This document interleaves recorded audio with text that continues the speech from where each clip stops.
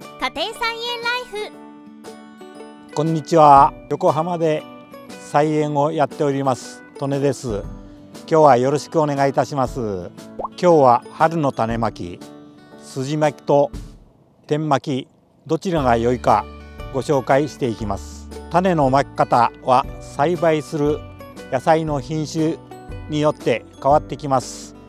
巻き方によっては発芽率や収穫する量も変わることがあります。皆さん春から種まきをすると思いますがいろいろな方法で種まきを迷っている方もおるかと思いますが今日は点まき筋まきどちらが良いかそれをご紹介していきます。最後にご質問にも回答していきますので最後まで見ていただければ幸いです。それでは行ってみましょう。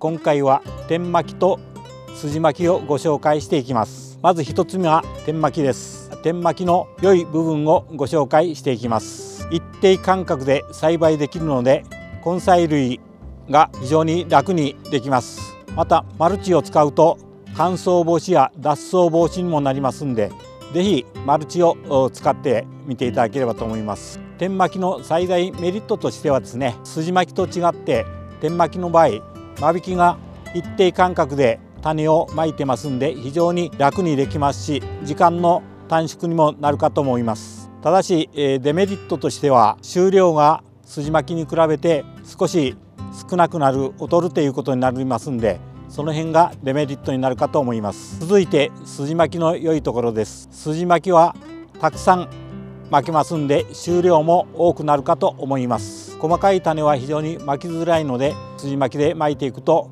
良いかと思います。デメリットはですね点巻きに比べて間引きの回数が多くなりちょっと間引きが大変かなと思います。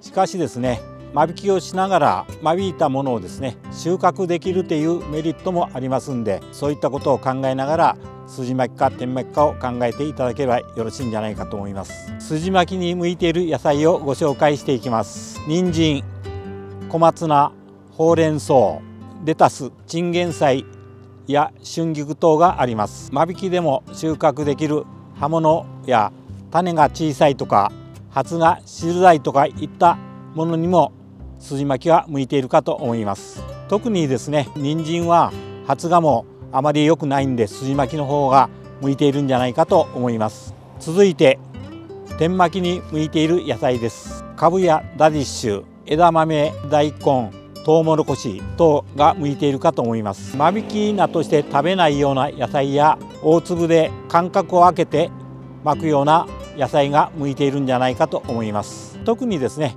点巻きに向いている野菜としては大根や枝豆トウモロコシ等が向いているのではないでしょうか。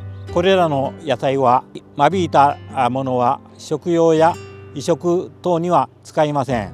ですからこういった野菜は一定間隔で巻ける点巻きの方が良いかと思われます。では実際に種まきのポイントをご紹介していきます。今回はこの小松菜を種まきしていきます。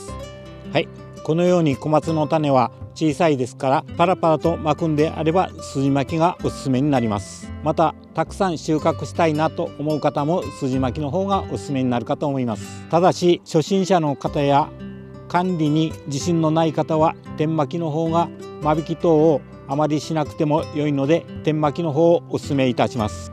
是非、えー、筋巻きにするか点巻きにするかよく考えて検討してみてください。では最初に点巻きの方からご紹介をしていきます。今回はこういった道具を使っていきます。こちらはピンセット。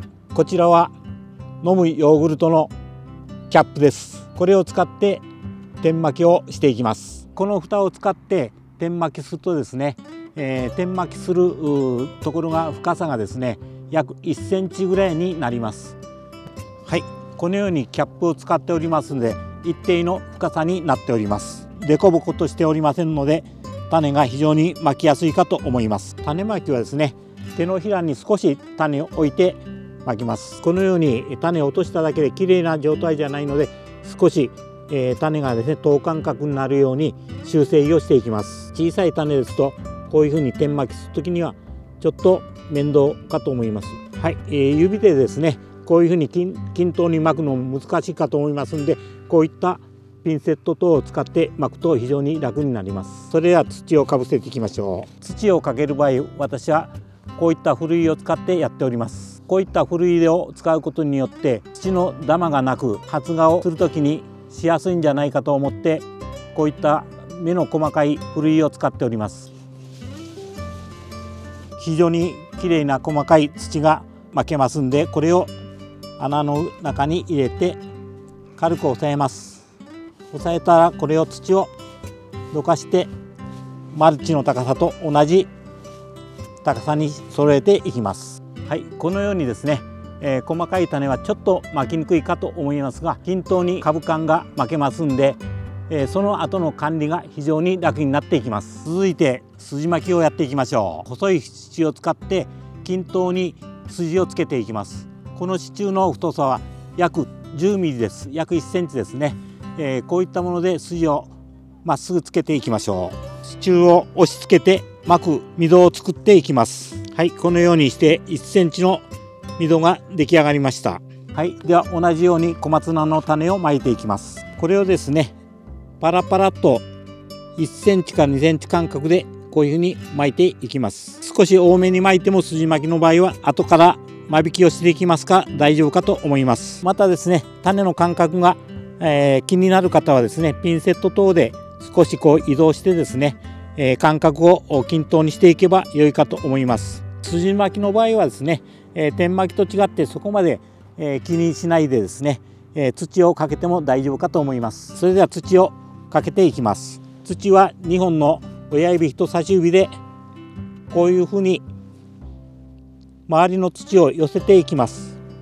こういうふうに寄せた後はですねしっかりと上から押さえて平らにしていきます。種まいたところに水がたまらないようにですね畝の高さを調整してまっすぐにしていきます。水がたまると種の芽が出るところに水分が多くなって酸素が少なくなり発芽がしにくくなると困りますので平らにして、えー、いただければと思います。こちらは天巻きで、えー、育てた葉物野菜です。このように天巻きをすると株が大きく育っていきます。一定の間隔が空いておりますので株が非常にボリュームがあります。しかしですね筋巻きと違って点巻きの場合は少し収量が劣る場合もありますんでその辺も十分注意して筋巻きか点巻きかどちらが良いか選んでいただければと思います。それではご質問に回答をしていきます。こちらの12月の種まき品種にコメントをいただきました。はい読み上げさせていただきます。小松菜の浜続きを栽培しています。外葉から収穫をして楽しんでおります。というコメントをいただいております。今回種まきしたのがこちらの浜続きです。外葉から収穫することによって大株で全て収穫をすることができます。ですから大きく育てたい場合は点まきの方が良いかと思います。小さい時から早く収穫したい場合は筋巻きの方が良いかと思われます。是非、えー、この両方をですね作ってみて比較をしてみてはいかがでしょうか。今日は点巻きと筋巻きのどちらが3月の種まきとして良いかご紹介をしていきました。